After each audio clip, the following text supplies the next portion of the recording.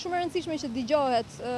Aktivistët e mbrojtjes së të drejtave të grave përgëzojnë vendimin e kryeministrit për përfaqësim të barabartë gjinor në kabinetin qeveritar, pavarësisht kritikave se kjo mund të jetë një taktikë për të hedhur poshtë tezën e kundërshtarëve se ai po grumbullon pushtet absolut rreth vetes. Koordinatorja e rrjetit Barazi në vendimmarrje Edlira Çepani deklaroi për Channel One se Shqipëria shënon hapa të rëndësishëm në promovimin e grave dhe vajzave në vendimmarrje duke u renditur e dyta në kontinent pas Spanjës për përfaqësimin e barabartë gjinor në qeveri, pesëdhjetë me pesëdhjetë.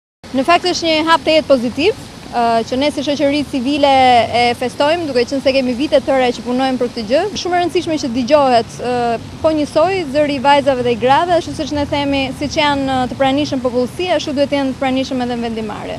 Në qoftë se është bërë plani për t'i mbajtur ministrat si garnityr, atëherë garnityr do të jenë edhe burrat dhe djemtë, edhe vajzat dhe gratë. Kështu që nuk janë vetëm vajzat dhe gratë garnityra në një institucion vendimmarrës. Në qoftë se është garnityr, atëherë është për të gjitha gjinitë.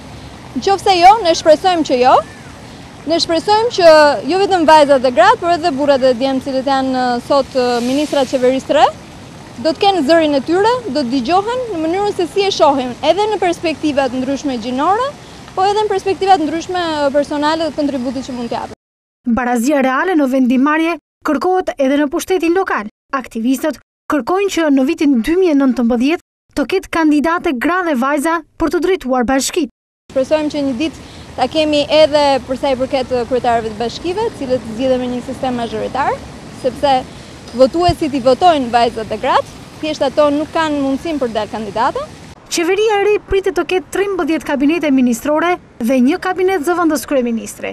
Kryeministri u kujdes që kandidatët e propozuar për ministrat dhe zëvendëskryeministren të kishin përfaqësim të barabartë gjinor. Ndërkohë, në parlament gratë sigurojnë afro 28% të kuotës gjinore, duke siguruar 39 mandate, gjashtë më shumë se në legjislaturën e kaluar.